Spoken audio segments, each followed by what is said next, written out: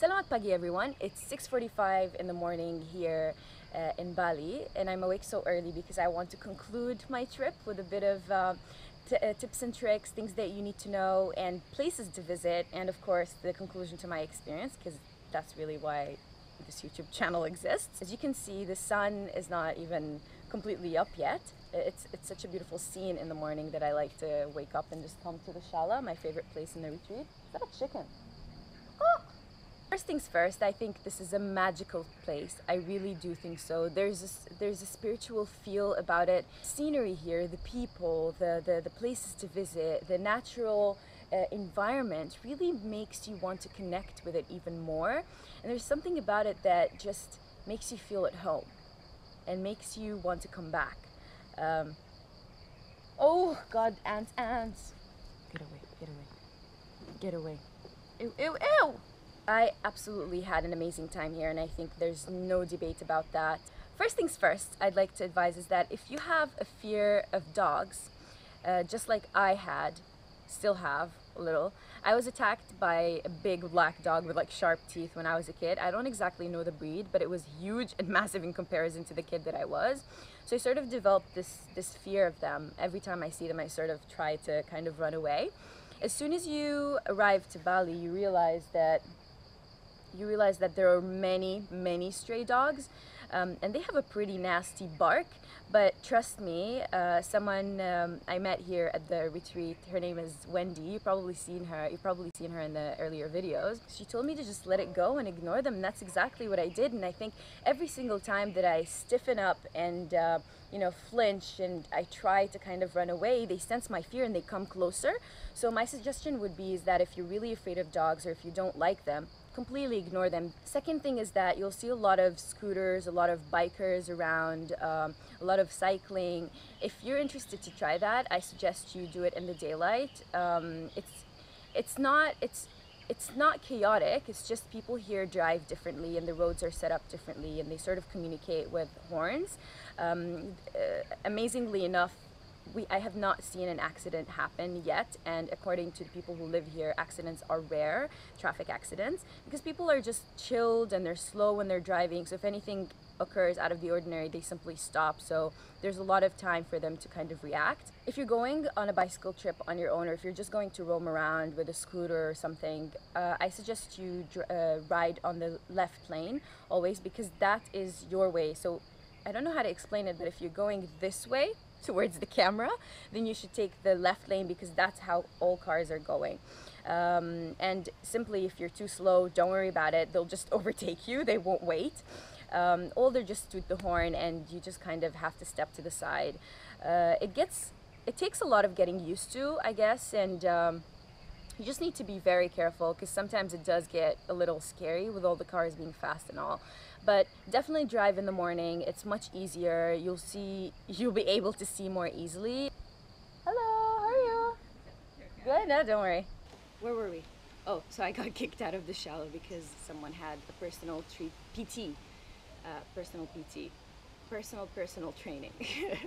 Another thing you need to take into consideration is money exchange.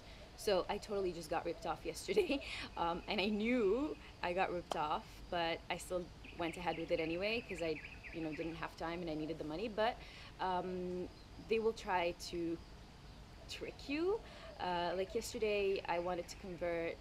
I think $300 into about 4 million rupiahs, and um, he was just giving me very small change so I'd make a mistake and he also missed out on giving me like a million rupiahs uh, so the rest of my money and you need to check the exchange rate I think this will save you a lot of heartache to be honest so just be careful um, I'm not saying all of them will be like that some of them are ethical and you know very nice and will give you the right amount but just be careful and always count your money Fourth thing I need to talk about is hotels or villas. I think you definitely need to stay at a hotel or a villa that you definitely trust.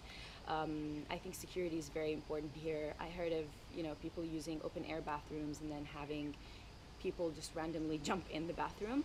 Uh, you just need to be very careful as to where you stay. I think that's a very important decision you need to make when you're coming to Bali. I'm gonna move on to what or where you need to visit. I haven't been to much. Bali is actually quite huge. Some areas you can go to can take up to two hours of driving.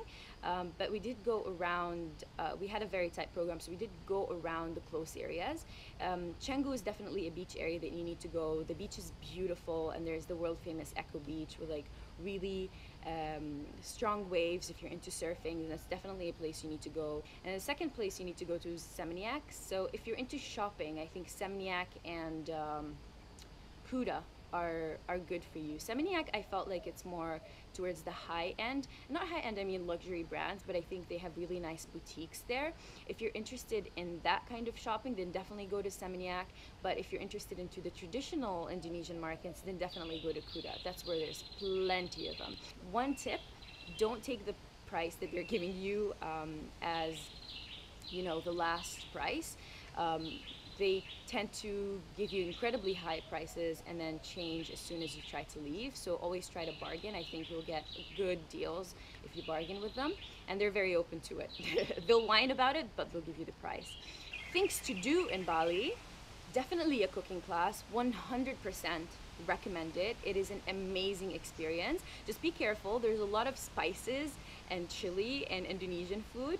Um, so yeah, just as you chop it, do not, and I mean do not put it anywhere near your face because, especially your eye, the chili is quite spicy and I literally felt my cheeks burning throughout the whole day, no joke.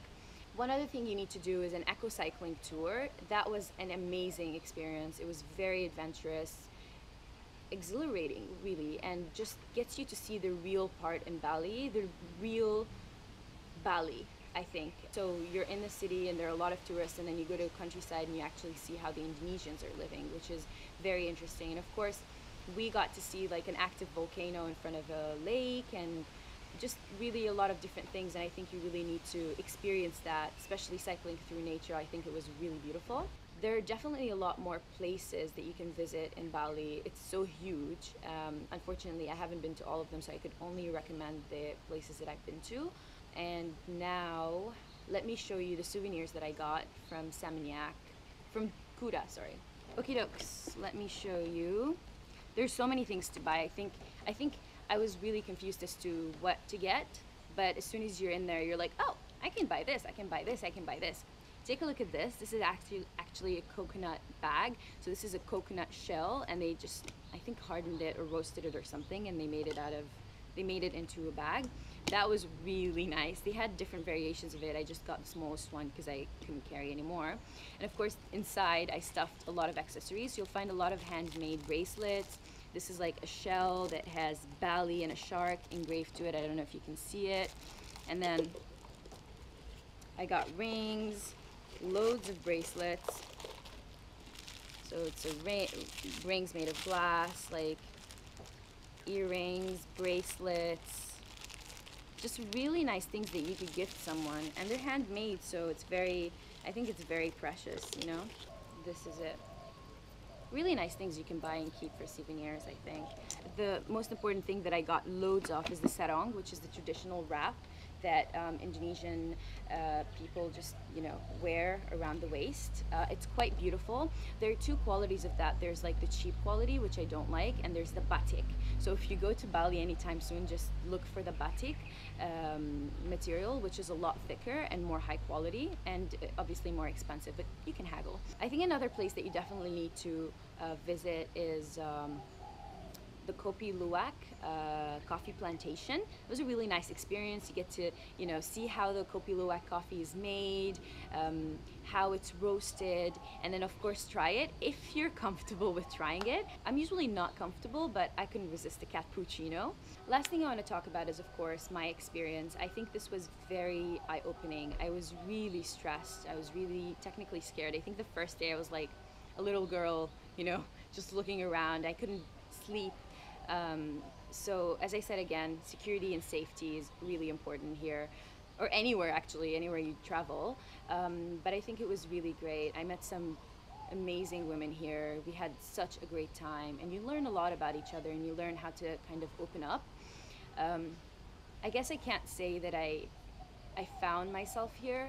Uh, I think this place just made me a little more confused, but it's a good amount of confusion because it's a, it's a it's really like 10 steps forward for me and I now know that I want to explore more. So definitely a place you need to visit.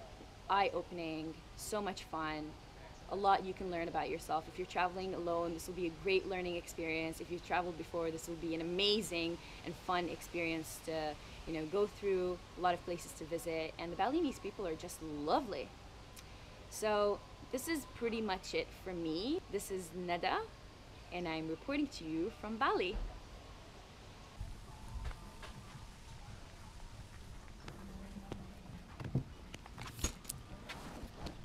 Thank you so much for following me on this trip. I hope you liked the videos and please if you have any comments or feedback or suggestions then please drop them in the comments section on YouTube and if you like the video so much so either hit like or share or even subscribe. Bali, this is definitely not goodbye. This is a see you later. So back to Dubai.